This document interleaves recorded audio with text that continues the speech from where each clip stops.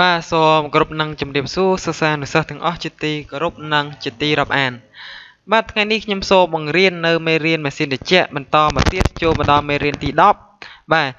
ចឹងដែលមានចំណងជើងថានិយាយអំពី thermostat បាទចឹងអ្នកនរគ្នាប្រហែលជាបានស្គាល់អស់ហើយដែលតកតងនឹង thermostat ហើយមួយចំនួនទៀតដែលពុំតបានស្គាល់អញ្ចឹងសូមតាមដានសិក្សាជាមួយខ្ញុំបាទទាំងអស់គ្នាទៅណាបាទ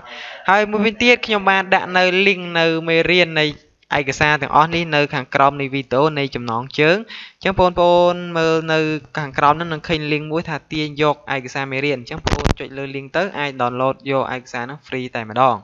បាទអញ្ចឹងសម្រាប់បងប្អូនដែលទុកចងក្រងជាឯកសារធ្វើជាមេរៀនសម្រាប់ធ្វើជា assignment midterm final អីជាដើមឬក៏សារណាជាដើមបាទ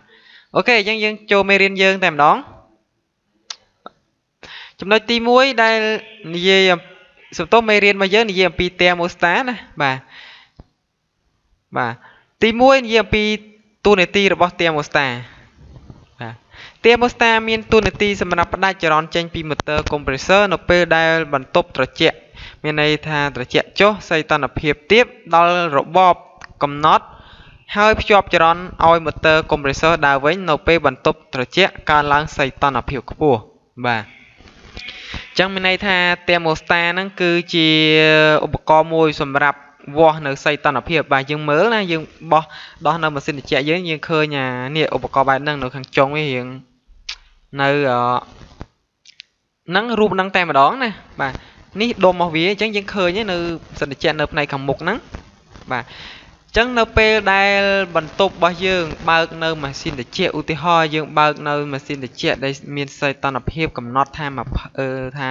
16អង្សាហ្នឹងហើយចឹងនៅពេលដែលយើងបើកម៉ាស៊ីនត្រជាក់យើងនៅក្នុងបន្ទប់ហ្នឹង16អង្សាអញ្ចឹងនៅពេលយើងបើកម៉ាស៊ីនត្រជាក់យើងដំបូង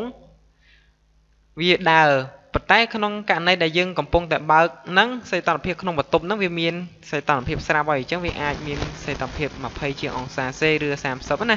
បាទអញ្ចឹងមាននៅសីតុណ្ហភាពខ្ពស់អញ្ចឹងនៅពេលដែលយើងបើកម៉ាស៊ីនត្រជាក់រយៈពេលប្រហែលជា10នាទីអញ្ចឹងសីតុណ្ហភាពរបស់យើងវាបានចុះត្រជាក់ឡើងចុះត្រជាក់ឡើងដោយសារចំហាយម៉ាស៊ីនត្រជាក់ជះពេញក្នុងបន្ទប់របស់យើងណាអញ្ចឹងបើកាលណាសីតុណ្ហភាពចុះត្រជាក់ដល់កំណត់នៃ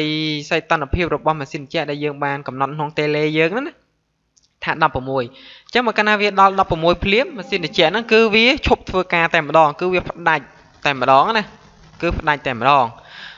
អញ្ចឹងផ្ដាច់ហ្នឹងក្នុងរយៈពេលប្រហែលជាប្រមាណទៅ4 5នាទីអញ្ចឹងសីតុណ្ហភាពយើងចាប់ដើមវាអស់ធាតុត្រជាក់អញ្ចឹងវាឡើងក្តៅវិញអញ្ចឹងឡើងក្តៅវិញអញ្ចឹងម៉ាស៊ីនត្រជាក់វាធ្វើការបន្តទៀតហ្នឹងហើយបើសិនជាអត់មានផ្ដាច់អត់មានភ្ជាប់អីនោះទេអញ្ចឹងម៉ាស៊ីនក្នុងបន្ទប់យើងថាដាក់16អញ្ចឹង 16លេងឲ្យមិនសិតដើររហូតរយៈពេល2ម៉ោងធ្វើឲ្យយើងត្រជាក់ស្ពឹកណារហូតចុះសីតុណ្ហភាពឲ្យដល់10អង្សាបាត់ហើយបើសិនជាដើររហូតហ្នឹងអញ្ចឹងវាអត់ទេអញ្ចឹងវាកំណត់ឲ្យវាផ្ដាច់ឲ្យយើងអូតូតែម្ដងបាទអូខេតទៀតចំណុចទី1វាមានបំពង់កែវលាផ្ទុកហ្វ្រេអុងមួយទៀតវាមានបង្គោលនឹងចាប់ខ្សែហ្នឹងហើយអញ្ចឹងបំពង់របស់វាសម្រាប់ផ្ទុកនៅសារធាតុហ្វ្រេអុងក្នុងហ្នឹង នេះគឺសម្រាប់បង្គោលចាប់ខ្សែបាទអូខេចំណុចទី2គ្រឿងបង្គុំរបស់ thermostat ទី1ស្នប់ mana souffle បាទយើងមើលរូបណាចំណុចទី1នេះស្នប់ souffle ទី2បាទវារីសម្រាប់ទប់ស្នប់មានន័យទប់ស្នប់ souffle ហ្នឹងទី3តួប្រអប់ជើងកុងតាក់ទី4ឬសលៃតម្រូវ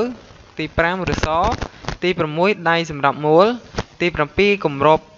រឹតទប់ដៃទៀមស្តាទី8តួក្រៅរបស់ទៀមស្តាបាទទី9ដងកុងតាក់ទី10ដងដំលុះកុងតាក់បាទទី11រសទី12អទប់ដងដំលុះទី13តួខាងក្នុងរបស់ទៀមស្តាទី14ជំទប់ ដំឡោះកុងតាក់បាទហ្នឹងហើយអញ្ចឹងយើងនៅខាងគ្រឿងក្នុងរបស់វាដុំទៀមស្តាមួយតូចណាប៉ិនក៏ដៃធំជាងមេជើងអញ្ចឹងប៉ុន្តែនៅខាងក្នុងវាមានប្រព័ន្ធវារញ៉េរញ៉ៃច្រើនណាអញ្ចឹងយើង បានគេបានបង្ហាញនៅរូបដាក់នៅដាក់នៅលេខហើយនឹងអក្សរយើងមើលណាប៉ុន្តែវាគោលការណ៍វាធ្វើការវាពិបាកស្មុគស្មាញបន្តិចហ្នឹងហើយក្នុងហ្នឹងអូខេ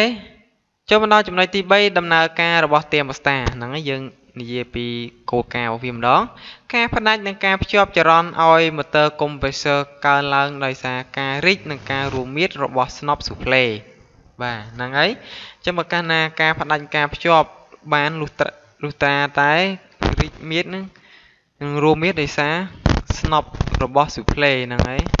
ស្នប់របស់ស៊ូហ្វ្លេយើងមើលលេខ2ណានេះស្នប់របស់ស៊ូហ្វ្លេរីករួមមៀតទៅវាអាចធ្វើឲ្យភ្ជាប់ទៅកុងតាក់មកកន្លែងនេះណា ឡើងនេះឡើងមកនឹងអាចប៉ះកន្លែងនេះអាចធ្វើឲ្យវាដើរអញ្ចឹងណាបាទវាពិបាកមើលតិចចំណុចកការរីកមាឌរបស់ Snop Supply នៅពេលដែលសីតុណ្ហភាពក្នុងបន្ទប់កើនឡើងខ្ពស់ Freon ដែលដែលស្ថិតនៅក្នុងបំពង់ការពលារបស់ thermostat ពុះភាយហើយរីកមាឌធ្លាក់មិនន័យធាក់ស្នំឲ្យរីកមាឌឡើងទៅលើស្នប់មាន ភាពរីករីកនឹងរួមមៀតបានរុញសន្ទះកុងតាក់ខាងក្រោមឲ្យប៉ះទៅនឹងសន្ទះកុងតាក់ខាងលើរួចហើយភ្ជាប់នៅចរន្តឲ្យ motor compressor អូហ្នឹងហើយយើងមើលណានេះបាទនេះហ្នឹងយើងត្រៀមមូស្តារបស់យើងនៅពេលដែលសីតុណ្ហភាពយើងបើកនៅក្នុងបន្ទប់ចុះអឺឡើងត្រជាក់អញ្ចឹងសារធាតុ freon វាត្រូវបានពុះភាយនៅក្នុងហ្នឹងគឺវាពុះភាយតែម្ដងបាទអូខេ បើកាលណា freon វាសីតុណ្ហភាពវាត្រជាក់អញ្ចឹងធ្វើ freon ហ្នឹងវាមានមានន័យថាធ្វើចលនាវារីកមៀតអញ្ចឹងវាបានធ្លាក់ចុះមកក្រោមហ្នឹងហើយអញ្ចឹងបើកាលណាវាបានធ្លាក់ចុះមកក្រោមបាទយើងមើលរូបណាធ្លាក់ចុះមកក្រោមវាក៏បានប៉ះនៅនេះដងកុងតាក់ឬក៏រសើកុងតាក់បើកាលណាបានប៉ះនៅដងកុងតាក់រសើកុងតាក់អញ្ចឹងវាធ្វើឲ្យប៉ះមកខាងក្រោមវាយមកអញ្ចឹងវាធ្វើឲ្យមាននៅចរន្តបាទចរន្តភ្ជាប់ទៅ motor compressor នៅខាងក្រោម ឲ្យដំណើរការតែម្ដងនេះយើងមើលណាដងនេះធ្លាក់ចុះក្រោមប៉ក់អញ្ចឹងអាអាកលឹះនេះវាហ្នឹងវាវាយឡើងលើវាយឡើងលើអញ្ចឹងវាបានភ្ជាប់ទៅកុងតាក់តែម្ដងហ្នឹងហើយអូខេយើងបន្តមកទៀតបាទចូលមកដល់ចំណុចហួរហើយបាទចំណុចកបានចប់ហើយទី1សន្ទះកុងតាក់ លើនិងក្រោម ទី2ស្នប់ស៊ូផ្លេទី3រសើទី4បំពង់កែវលាបផ្ទុយហ្វ្រេអងទី5ដៃសម្រាប់មូលលៃតម្រូវ បាទនេះរូបភាពរបស់អខាងកុងតាក់នៃ motor ស្នប់អៀននៅខាងក្នុងណានៃ thermostat ហ្នឹងវាមានគ្រឿងក្រៅរបស់វាបែបហ្នឹងអញ្ចឹងយើងមើលតាមរូបនេះខ្ញុំបានដាក់សយមើលទៅណាបាទអូខេចំណុចទី4ការដំឡើង thermostat អញ្ចឹងយើងនិយាយអំពីការដំឡើងវិញ តាមលក្ខណៈបច្ចេកទេសបំពង់កាបលារបស់ទៀមមូស្តារបស់មូស្តាត្រូវបានដំឡើងផ្អឹបភ្ជាប់ជាមួយផ្ទៃមុខរបស់ evaporator ដើម្បីឲ្យដើម្បីធ្វើឲ្យផ្ទៃបំពង់កាបលាប៉ះជាមួយផ្ទៃមុខរបស់ evaporator បានល្អទី1ពីស្តុងទី2ស៊ីឡាំងទី3ទៀមមូស្តាទី4 evaporator ទី5 deductor ទី6 condenser បាទ ចឹងវាមាន6អញ្ចឹងខ្ញុំបានដាក់រូបឲ្យយើងមើលទៅវាទៅតាមលក្ខណៈបែបហ្នឹងបាទ D តង់ D តង់ដឺហ្នឹងហើយហៅថា D តង់ដឺបាទវាលក្ខណៈថាដូចជាបំពង់នៃកាវលាហ្នឹងហើយ D តង់ដឺយើងបាទបាទបន្តមកទៀតចំណុចខការរួមមៀតរបស់ស្នប់សន្តោស្នប់ស៊ូផ្លេ នៅពេលដែលបន្ទប់ត្រជាក់មានសីតុណ្ហភាពធ្លាក់ចុះទាបតាមរបបកំណត់ហើយចំហាយហ្វ្រេអុងដែលនៅក្នុងបំពង់កែបលារបស់ទេវស្តារួមមានខ្លាយទៅជាហ្វ្រេអុងរាវិញបណ្ដាលឲ្យសម្ពាធនៅក្នុងស្នប់នោះធ្លាក់ចុះព្រមគ្នានោះស្នប់ក៏រួមមានហើយបន្ទះកុងតាក់ក្រោមធ្លាក់ចុះផ្ដាច់នៅចរន្តទេវស្តាកុំប្រេស័រ ចំណុចទី1សន្ទះកុងតាក់លើនិងក្រោមទី2ស្នប់ស៊ូផ្លេទី3 racer ទី4បំពង់កាវលាបតុយហ្វ្រេអងទី5ដៃសម្រាប់មូលលៃតម្រូវបាទយើងមើលណានេះដងកុងតាក់វាទី1សន្ទះកុងតាក់លើក្រោមនេះលេខ1ទី2ស្នប់នឹងហើយស្នប់របស់វាអញ្ចឹងយើងមើលទៅតាមនៃអន្តបទទៅណាបាទ អូខេទី5កំហុយរបស់ thermostat អញ្ចឹងយើងដឹងថាតើ thermostat របស់យើងខូចដោយសារអ្វីបាទអញ្ចឹង motor compressor គ្មានដំណើរការបណ្ដាលមកពី freon ធ្លាយចេញពីបំពង់កាយវិលាត្រូវបដូរទែម៉ូស្តាថ្មី ឬអាចយកខ្សែចរន្តដែលចាប់ភ្ជាប់ទៅនឹងបង្គោលកុងតាក់ទាំងពីរតភ្ជាប់គ្នាតែម្ដងក៏បាន Motor compressor គ្មានដំណើរការដោយកុងតាក់របស់ទែម៉ូស្តាមានស្រមោចចូលធ្វើសម្បុកបង្កើតជាស្រទាប់ អ៊ីសូឡង់ខាន់សន្ទះកុងតាក់ត្រូវដោះគម្របទែម៉ូស្តាមានន័យថាឲ្យខាត់សម្អាតចេញហ្នឹងហើយចំណុចទី6របៀបតទែម៉ូស្តាក្នុងសៀគ្វីអគ្គិសនីម៉ាស៊ីនត្រជាក់ទែម៉ូស្តាអាចតនៅខាងខ្សែកុំម៉ានកុំម៉ង់ឬមួយខាងខ្សែបូប៊ីនដំណើរការត្រាវៃរបស់ compressor ក៏បានដែរបាទរូបចំណុចទី1 compressor ទី2 relay ទាំងម៉េច ឬហៅ protector ទី3 thermostat ទី4កង់ដង់អចិន្ត្រៃយ៍បាទជាងយើងមើលទៅរូបទាំងអស់គ្នាបាទនេះគឺជាកុំរូបភាពរបស់ CFV នៃការតរបស់ thermostat ទី1 compressor អញ្ចឹងយើងមើលណា compressor របស់យើងនេះរូបធំជាងគេ compressor ចឹងវាមានខ្សែបូប៊ីនរបស់វាអញ្ចឹងយើងអាចតខ្សែរបស់ thermostat ជាមួយបូប៊ីននៅចំណុចកណ្ដាលឬក៏ បូប៊ីនដំណើរការហៅត្រាវៃក៏បានដែរណាបាទយើងអាចតនេះហៅតាក់មិច relay តាក់មិចអីហ្នឹងបាទកាលណាវាមានការឡើងកម្ដៅក៏ដូចជាប្រើនៅធ្វើឲ្យ motor របស់យើង មានការឆ្លងឬក៏ប្រឹងឲ្យដំណើរការឡើងកម្ដៅអញ្ចឹង relay តាក់មិចគឺវាអាចផ្ដាច់ចរន្តតែម្ដងហ្នឹងហើយយើងដឹងណាបាទអូខេខ្ញុំមានតែប៉ុណ្្នឹងទេដែលបង្រៀនត្រួសត្រាស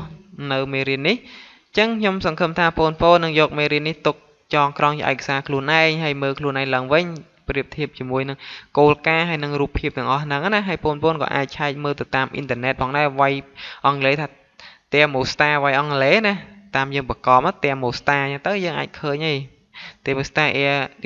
conditioner អញ្ចឹងយើងឃើញវាមានច្រើនមែនតើហ្នឹងហើយបាទអូខេខ្ញុំមានតែប៉ុណ្្នឹងទេដែលជម្រាបជូនឥឡូវខ្ញុំសូមបញ្ចប់ត្រឹមហ្នឹងសូមបងប្អូន ទាញយកមេរៀនហើយខិតខំប្រឹងប្រែងទាំងអស់គ្នាដើម្បីអនាគតប្រទេសជាតិយើងនិងដើម្បីគុំក្រុមគ្រួសារនិងអនាគតរបស់ខ្លួនឯងបាទចឹងខ្ញុំនឹងធ្វើមេរៀនបន្តជាច្រើនទៀតខ្ញុំនឹងធ្វើធ្វើឲ្យចប់នៅមេរៀនម៉ាស៊ីនត្រជាក់និងរួចហើយខ្ញុំបន្តទៅនឹងមេរៀនគិសនីវិញបាទអញ្ចឹងបងប្អូនមួយចំនួនចូលចិត្តនៅមេរៀនគិសនីច្រើនអញ្ចឹងខ្ញុំខ្ញុំនឹងបង្ហាញឲ្យច្រើនព្រោះអី វាអត់តបានចំដោយសារ level ណាអញ្ចឹងខ្ញុំមាននៅពីរថ្ងៃធ្វើមួយវាយូរដែរអញ្ចឹងចាំមើលខ្ញុំឆ្លៀតពេលហ្នឹងហើយអូខេខ្ញុំសូមបញ្ចប់ចាស់ខ្ញុំសូមអរគុណសូមគោរពលា